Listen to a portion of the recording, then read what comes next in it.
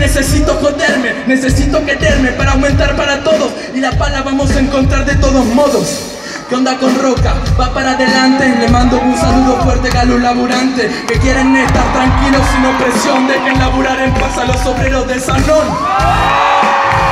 Eso es lo que pedimos, solamente cuando nos subimos vimos que nos entretenemos